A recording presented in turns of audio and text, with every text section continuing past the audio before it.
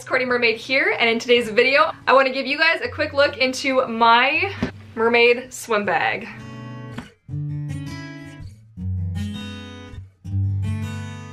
Alright, so I figured I would give you guys a little insight into some of the things that I bring with me to the pool. I This is exactly as I left it last.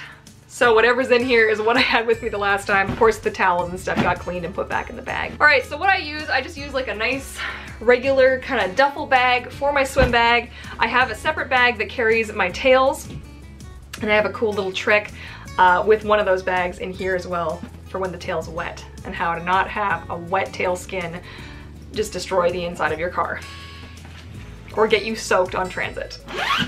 Let's do this. All right, so this is my bag. I have, of course, a very large towel. I have a smaller towel. This is actually a microfiber uh, cloth. I, use, I was actually given this, I was gifted this um, by uh, one of my local pools. They had invited me out for a mermaid swim and they had given me a bunch of goodies. I have a couple of the other goodies in here as well. But I love this thing, so I keep this. Uh, I leave this in the locker and I keep this beside the pool with me. This is for on days when I'm like filming, not when I'm doing like a kid's party or something. So this would be a trip to the pool, I'm filming, I've got my tail, maybe I've got somebody there to film me, uh, and that kind of thing. So it's more of like a behind the scenes kind of a day for this sort of stuff. Very typical that I would have a lot of this with me when I go to film the videos that you see of me swimming underwater. So that's that. Okay, now I love this guy, all right? What this is, this is one of those watertight bags. So I will, when I get to the pool and I get changed, all of my dry clothes that I wanna keep dry go in here, okay? Then at the end of the swim, I take, and I get obviously out of all my tail and my bathing suit, whatever, all of these clothes, of course, I get back into. This, then my tail comes out of its monofin, or the monofin comes out of my tail and the tail goes in here, gets rolled up, and the thing doesn't leak. It's like leak proof, right? Because it's one of those watertight, it's like sealed with that cement stuff that they use, whatever that is. And, um, and it keeps, it stays dry then so that I don't have, uh, it's a small compact bag that I can carry the monofin, give the monofin a quick rinse and a dry. Um, yeah, so that's, that is a very, this was also part of the gift pack that I got from those guys and I love it so much, so, so much. It's one of my favorite things in my, in my little arsenal now. I'm sorry that the camera keeps coming in and out of focus. I'm not sure what the deal is with that, but it's, it's having a moment apparently. Next is my little bag that carries sort of my goggles, Oh, I forgot I actually got new goggles. Ooh, I'm so excited. I keep my earplugs with me. Eye drops, of course. Eye gel, very important. Uh, my old earplugs, which I keep just in case, like I'm still getting used to these and I do, do really love these a lot. So I don't think I'm gonna need these again, but as a temporary, keep them with me kind of a situation. And then my goggles. So those guys all, oh, and my nose clip. My nose clip was attached to the thing. Oh no. And my nose clip, very important. These are things that will come to the actual uh, pool's edge with me. I also, because of where I typically swim, have to keep my certification that I'm cool to swim in a mermaid tail. I keep that with me. And I also keep if you're somebody with an Aquarius monofin, you know what I'm about to show you, a bunch of elastics and a hair tie. the elastics I use to reinforce the straps on my Aquarius if they should break. It's also handy just to keep some elastics with you at the pool, you never know. you never know, guys. You never know what you need them for. And a hair tie just in case for some reason I wore my hair down that day and forgot to bring a hair tie. So I don't always like to have my hair down when I'm practicing. Okay, so that's that. Okay, what do I have in here? In here, I've got some hand cream because you know what? After, I really don't like the feel of what my hands feel like when they're pruny um, and kind of the chlorine and stuff after I wash my hands. I put a little bit of, um, this is just Saje uh, muscle melt.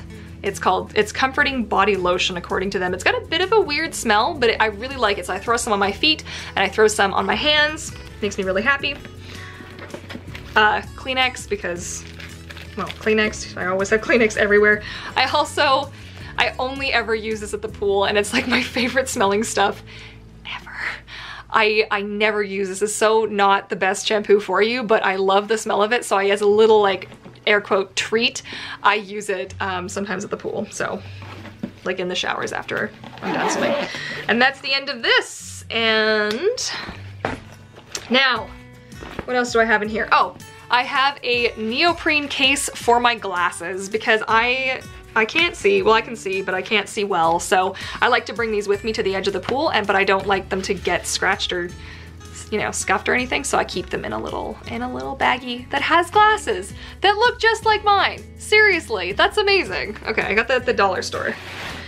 Now, again, if you are already a mermaid, you're gonna get plastic bags.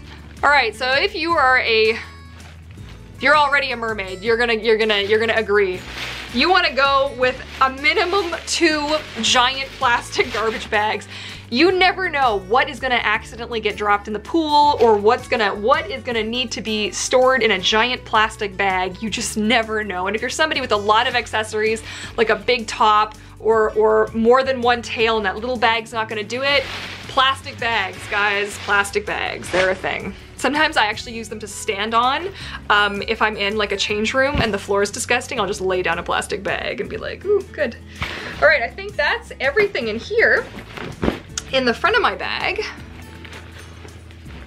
which I can't open apparently, um, I do keep with me because people will see me swim, they'll see me in the change room, and then they'll want to know where I got my tail, so I keep business cards. I know that sounds maybe a little, you know, full of myself or whatever, but it does happen, and the couple of times that it did happen, I didn't have business cards, so now I just make it a habit to keep a huge stack of business cards on hand at all times.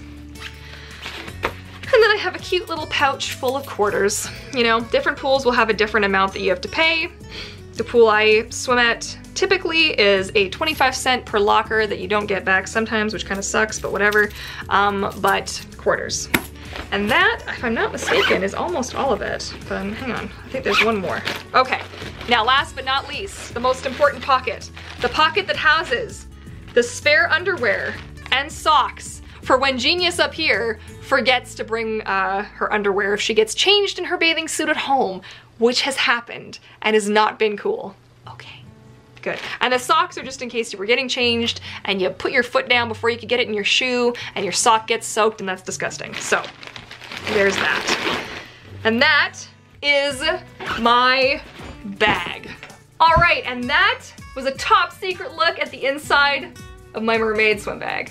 Now this would not be something like when I do a gig with kids, I have a massive duffel bag that carries like two tops, the tail, business cards, like a bunch of stuff that I need props and whatnot, a mat to stretch out on, like there's a whole, that's a whole other thing. And I will eventually do an updated video on that anyways, but this was more just like, I'm hitting the pool, I got the tail in the pack, and away we go, kind of a thing. So I hope you guys found that useful. Um, if you did and you liked this video, please feel free to give it a big thumbs up.